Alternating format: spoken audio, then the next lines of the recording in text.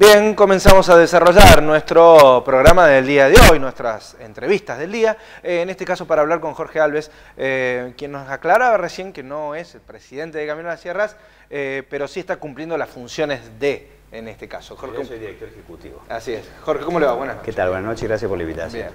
Bueno, Jorge, la invitación suya tiene que ver con los anuncios, que precisamente usted mismo estuvo aquí en el Palacio 16 de Julio, en la Municipalidad de Carlos Paz, el otro día, cuando el propio gobernador Juan Schiaretti eh, especificara lo que tenía que ver con, la Ruta 38, lo que va a significar esto, creo que en varios aspectos, pero sobre todo hay uno que le compete a usted, uno es el vial, que es este, y también en el turístico, que tiene mucho que ver también esto, en donde va a ser una obra de, gran, gran, gran envergadura, Jorge, ¿no es cierto? Sí, nosotros en realidad tuvimos por allá por el mes de enero, este, también aquí en la municipalidad, cuando se hizo el anuncio de la posibilidad de de, construir esta autovía desde la ruta 20, o sea, desde, desde la variante Costa Azul hasta La Falda. Y durante seis meses nos abocamos a hacer todos los, proyectos, los anteproyectos, preparar el proceso licitatorio y felizmente lo hemos culminado los otros días adjudicando aquí también en Carlos Paz a las empresas adjudicatarias eh, la, ejecución de esta obra. Claro, eso todo, todo ese trabajo de ejecución lo hicieron dentro de, de Camino de la Camino de la Sierra, sí, sí toda, toda, la parte de ingeniería. Ahora, por supuesto, la empresa tiene que seguir adelante porque tiene que hacer ajustes de proyecto, tiene que hacer una serie de trabajos, estudio de impacto ambiental, este, una, serie de tareas previa a la iniciación de las, de, las tareas este, viales este, y, de, construcción propiamente dicha, ¿no? que hay que cumplir requisitos. Por ejemplo, este, la audiencia pública por el tema del, impacto ambiental de la obra. Claro, claro, hay pasos que se tienen que ir cumpliendo, exactamente. ¿Y en eso va a ir la empresa cumpliendo esos pasos o Camino a las Sierras con la empresa también? Bueno, en realidad caminamos juntos, pero digamos son obligaciones de la empresa, o sea, presentar el, digamos, el proyecto ejecutivo de ingeniería definitivo.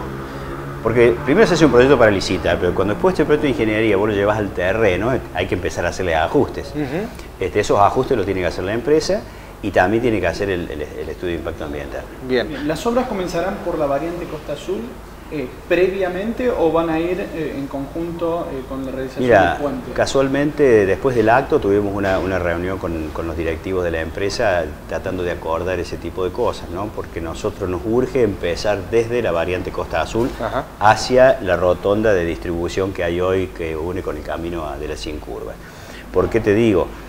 Porque está bastante, o sea, la mano que ya está hecha está bastante deteriorada y nosotros tenemos una intimación de la ERC para ponerla en condición. Entonces dijimos, bueno, aprovechamos y este, eh, ya que tenemos que hacerla de nuevo a esa, este, la ponemos en condiciones con esta obra. ¿no o sea que, todo Así que tenemos que empezar por ahí. toda la variante va a ser eh, ampliada y repavimentada. Toda la variante es ampliada y ah, este, este repavimentada. este, detalle yo al menos no, lo conocía, que tiene que ver con, que va a haber doble traza de, de los Exactamente, claro. De todos modos, digamos, es una obra sencilla desde la ruta, desde la ruta 20 hasta la rotonda distribuidora, porque ya todo el movimiento solo está hecho. está este, nivelado. exactamente. Hay 7 kilómetros ahí.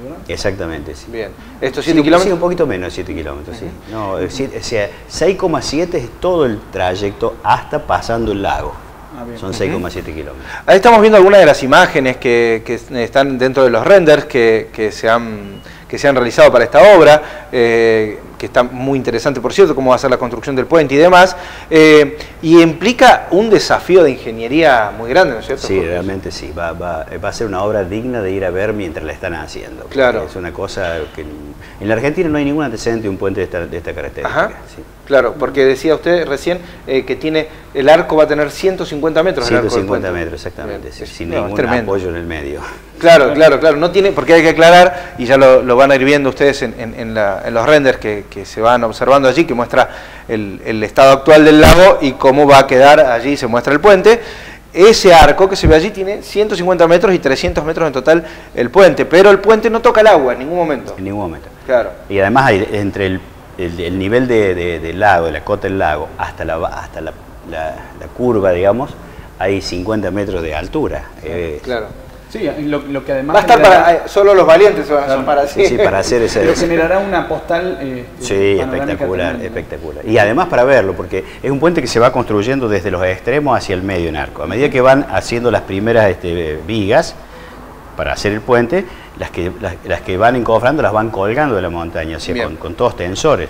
Por lo tanto, el estudio, todos los estudios geológicos que hubo que hacer sobre la montaña para sostener esa construcción, que después hay que sacarlo, porque una vez que el puente llega arriba y se una, y se consolide, todos esos tensores desaparecen, pero es una obra de, ingeniería este, importante. Alves, eh, ¿cuál es el costo nosotros hasta ahora le hemos adjudicado en 1.300 millones de pesos, IVA incluido. ¿Esto eh, hasta dónde? Es desde, desde el distribuidor de la variante de la ruta 20, variante Costa Azul, hasta pasando el lago, unos 2 kilómetros, 400 metros más, más allá del lago, y hasta que se defina cuál va a ser la continuidad del trazado hasta la falda, hay una bajada a, la ruta E55, ahí más o menos un poco antes de la Plaza Federal, sí. este, de unos 1.700 metros más o menos, que es una, calle pavimentada. ¿Eso será provisorio? Eso es provisorio hasta que se defina el trazado este, hacia la falda, pero como lo anticipó el gobernador acá en el acto, nosotros en el primer semestre del año que viene estamos adjudicando ya definitivamente desde, desde donde dejemos ahora hasta la falda. Se conocieron que 24 eh, son los meses que demandaría la realización Exacto, de esta obra. sí. ¿Hay alguna fecha prevista de iniciación de los trabajos? Si bien usted habló de, cuestiones administrativas que cumplir, pero, pero a fin de año eh, o el año próximo. No, nosotros yo, este, la idea nuestra es empezar ante fin de año. ¿Por qué? Porque como te decía recién, esta primera parte, que es la parte vial, que va desde esta ruta hasta el puente, o sea, hasta la rotonda distribuidora que va el camino a, las 100 curvas, es repavimentar lo que está y hacer la, otra calzada paralela. Eh, esa obra, como ya es una obra que, es preexistente, se puede ir este, haciendo antes del estudio de impacto ambiental, porque ya es una ruta que existe, no hay que hacer movimiento de suelo, no hay que sacar árbol, no hay que hacer nada, no, no, tiene ningún impacto sobre el ambiente. Por lo tanto, podemos empezar por esa. Cuando lleguemos allá a la montaña y tengamos que empezar a, mover montañas, a hacer excavación y todo ese tipo de cosas y terraplenes, ahí sí este, hay que hacer este, las cosas como corresponden. Mientras tanto, mientras se va haciendo todos esos estudios, eh, la empresa va a ir avanzando con la construcción de la, de la doble vía acá al principio. Eh, Jorge, usted decía, el año que viene ya se va a adjudicar el resto de la obra cuando se tenga la traza definitiva por dónde va a ir. Eh, y va a ser una autovía hasta la falda. Hasta la falda, sí. ¿Hoy tienen un costo aproximado de lo que el total de la obra? Mm, cuando nosotros firmamos el convenio, porque esta es una obra cofinanciada por la Nación. Cuando se, se, hizo el convenio con la Nación allá por el mes de enero de este año, eh, se estimó el valor total de esa obra en, en 2.000 millones de pesos. este, no, 1.700 millones de pesos. Hoy ya está con, los índices, de, ya, está muy por encima de eso. Este, pero nosotros hasta que no tengamos el proyecto definitivo de la segunda parte no podríamos aventurar este, un precio definitivo. ¿Esta obra incluye peajes? En realidad no está previsto todavía, este, pero eh, lo vamos a evaluar, lo vamos a evaluar en función, en función al volumen de tránsito que tenga, en función en alguna ecuación de costo-beneficio. Es probable que nosotros desde Camino de la Sierra, cuando el gobernador este, nos adjudique la extensión de la RAC hasta la falda, nosotros planteemos la posibilidad de poner una cabina de peaje. Claro, porque hay, o sea, va a extender la cantidad de kilómetros que tiene que atender la empresa. Exactamente. Eh, y por otra parte, eh, ¿esto también demandará una actualización en la tarifa del peaje actual en la RAC o por lo menos en el peaje de ruta? O sea, digamos, no. Eh, no, no, no, no, incide en la definición de la tarifa estas nuevas obras que hacemos. Para nada, ninguna. ¿eh? Porque nosotros en realidad este, lo que siempre tratamos de explicar y por ahí no se entiende, nosotros no tenemos rutas asignadas y sobre esa ruta cobrar un peaje para mantenerla.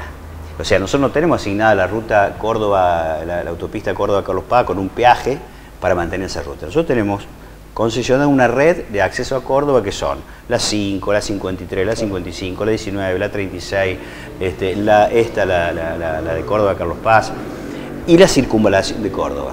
Todo eso es una red. Esa red tiene distintas bocas de, este, de entrada y distintos peajes para, para, cobrar y financiarla.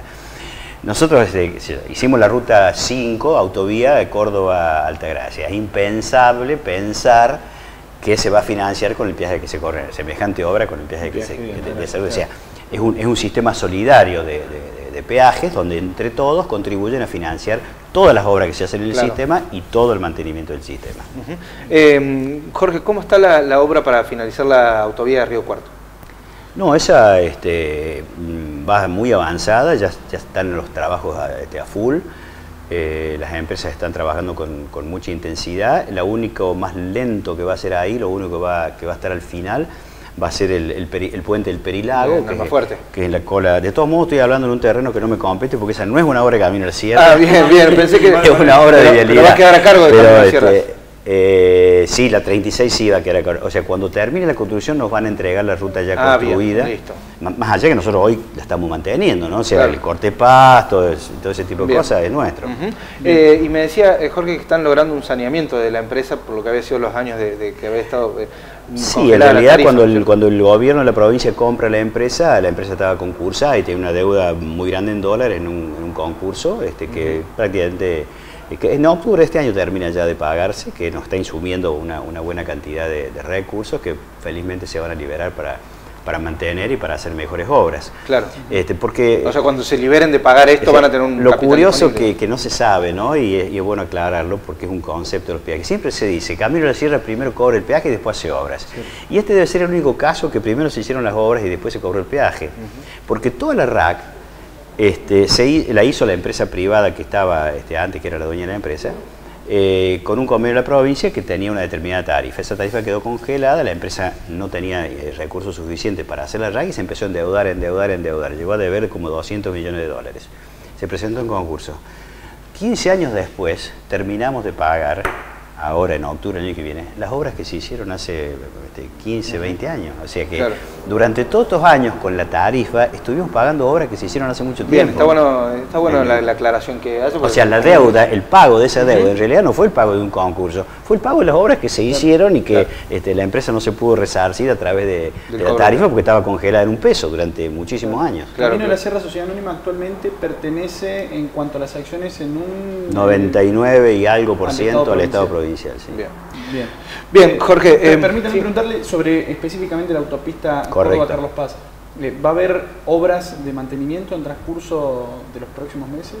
Sí, normalmente. Eh, nosotros hemos hecho hace poquito un trabajo de, reparación de hormigonado que estaba muy complicado porque ahora empezamos todo el sistema de pavimentación completa de la ruta este, desde el peaje hasta la, entrada de Carlos Paz, este, con, hormigón, con asfalto. Pero para poder hacer ese trabajo primero tuvimos que reparar algunos, algunos tramos de ¿Se va a repavimentar completamente? Sí, la vamos a repavimentar completa. Si vamos a empezar desde el peaje hasta... La primera parte va a ser desde el peaje hasta la hasta el desvío Altagracia, que eso es lo que vamos a hacer, ya empezamos los primeros meses del año que viene.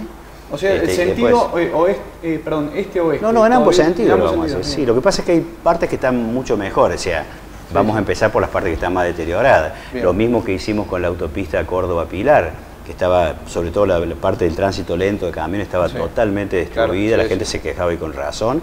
Así que nosotros este año le metimos muy mucha inversión y, prácticamente ya estamos terminando. Y como dice usted, eh, al terminar de pagar las deudas ahora, eso también va a liberar para poder acelerar este tipo de obras. ¿no? Eh, eh, ¿Contempla también los trabajos sobre las colectoras? Sí, también, sí, tenemos que mantener las colectoras, sí.